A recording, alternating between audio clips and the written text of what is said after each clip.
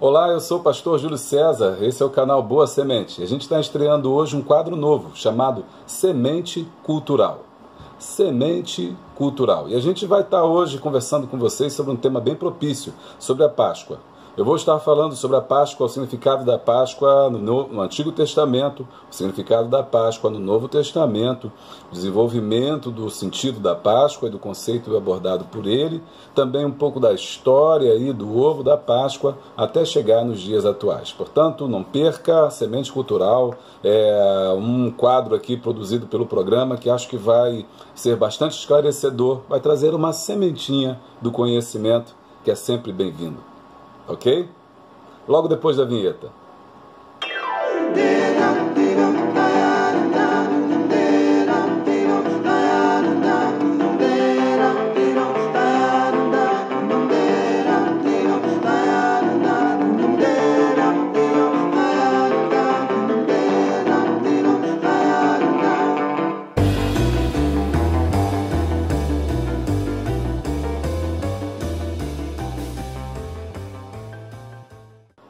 Bom, gente, está chegando aí a Páscoa, né? E a gente está pensando um pouco sobre essa, o que significa a Páscoa. No Antigo Testamento, a Páscoa ela pressignifica a libertação do povo de Israel. A palavra Páscoa significa passagem, vem do hebraico Pesash, que significa passagem. Alguns estudiosos acreditam que essa passagem, esse termo passagem, se refere, sobretudo, ao momento em que de, o anjo do Senhor, né, o, na verdade, o anjo da, da morte, o anjo que passa meia-noite, ele passa no meio do povo de Israel, ele passa dentro do Egito também. Só que quando ele passa no arraial do Egito, ele, ele fere todos os primogênitos. E quando ele passa é, no arraial do, dos, dos, dos israelitas, que ficava na terra de Gozen, ele não fere nenhum é, israelita que tivesse ali com a, a marca do sangue do cordeiro nos umbrais da porta. Então, a ideia dessa passagem do anjo da morte por dentro de, do Egito é, ficou marcada e, e, rememorada na lembrança do povo de Israel. Por isso, em Êxodo capítulo 12 também, o Senhor manda que se prepare essa festa, essa Páscoa, esse momento de passagem.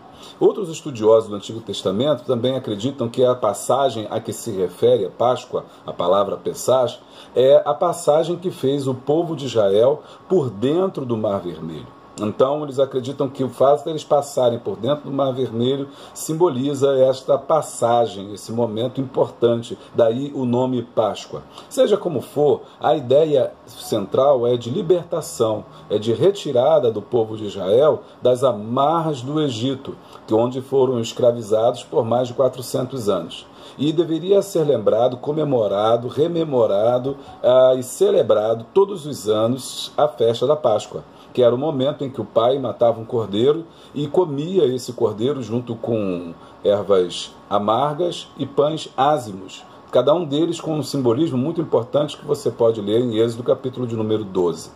Mais tarde, a, questão da, da, agricultura foi unida, e você vê isso em Deuteronômio capítulo 16, 3, em que houve, havia uma celebração da primavera, porque era o mês da colheita da cevada, aliás, que acontecia no primeiro mês de cada ano. E Israel adaptou essa festa para a celebração da Páscoa, onde faziam pães sem fermento, conforme você pode ver em Deuteronômio 16, versículo 3, que eu disse anteriormente.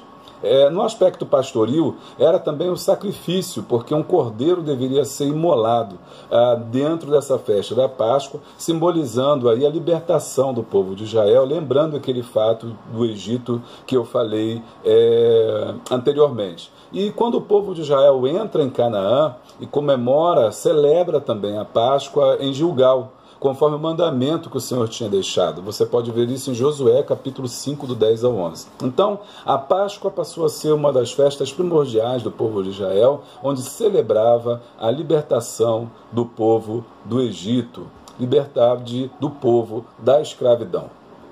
No Novo Testamento, esse dia passou a ser a marca da ressurreição de Cristo.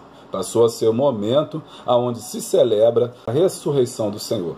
Lembre-se que o Antigo Testamento ele é, na verdade, uma sombra do, do, do, Novo Testamento. E aqueles tipos que estavam no Antigo Testamento, a festa é, da Páscoa, o símbolo da passagem, o cordeiro morto, o pão asmo, a ervas amargas, todos eles são símbolos do que estava por vir, da libertação que Jesus que seria propícia através do sacrifício de Cristo Jesus. No Novo Testamento, então, uh, o domingo da Páscoa passa a ser o domingo da ressurreição, o domingo em que Cristo ressuscitou.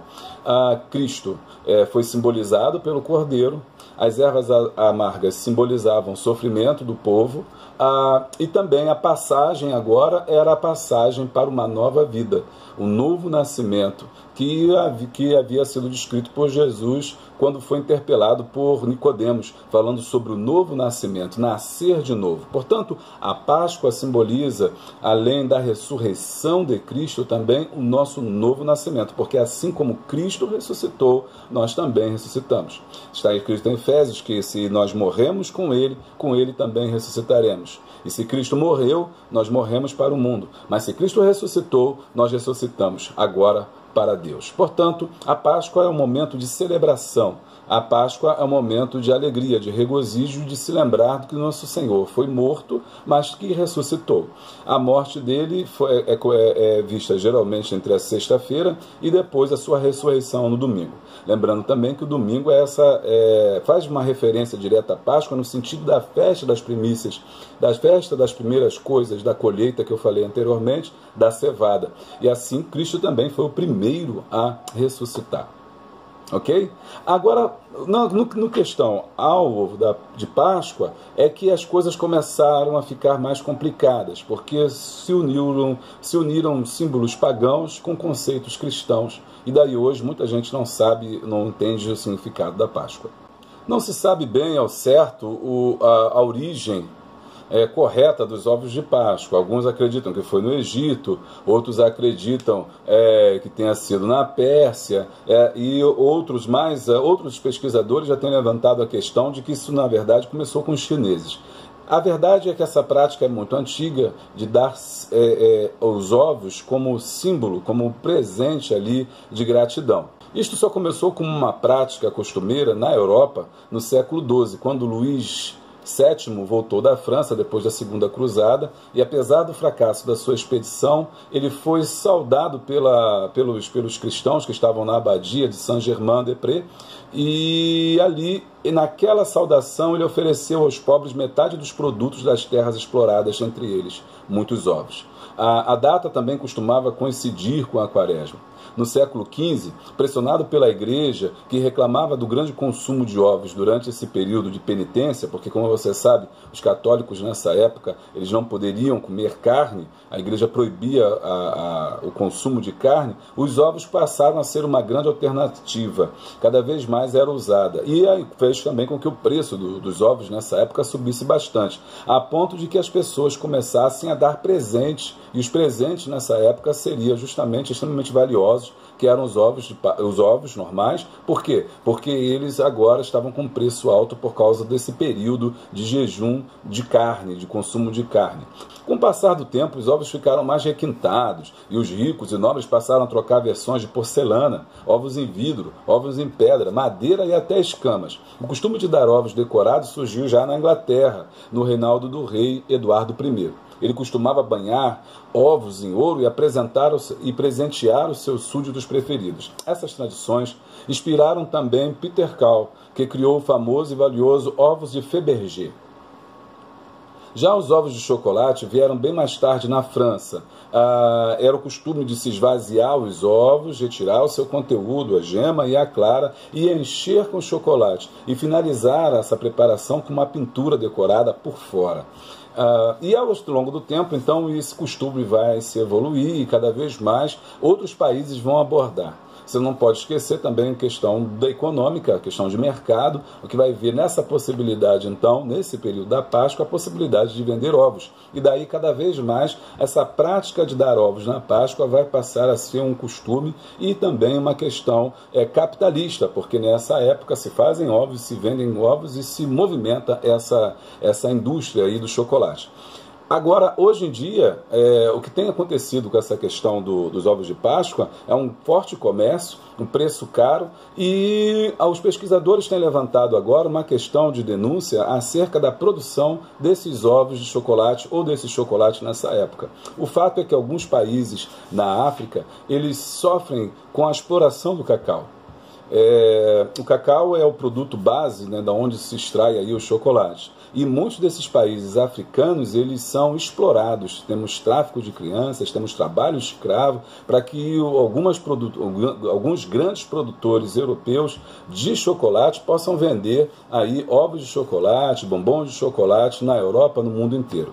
Não se sabe, não é, não é verídico que todos os ovos de chocolate vêm da, são produzidos na África. O Brasil também tem uma grande produção de, de, de, de cacau também, vive também dessa, dessa exportação. Não acredito que no Brasil haja esse tipo de trabalho escravo ou trabalho subhumano por conta disso. De qualquer forma, é importante notar que o sentido da Páscoa não é o ovo de Páscoa, não é o chocolate, não é o bombom, não é coelhinho, não é nada disso.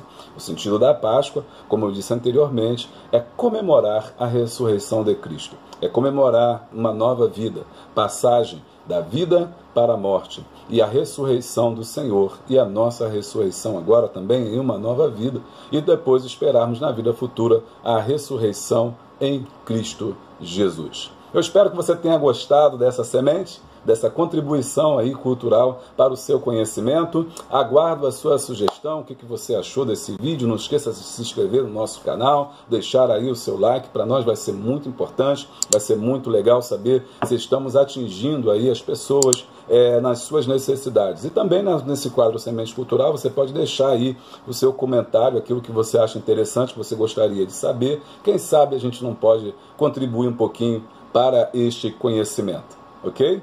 Até a próxima!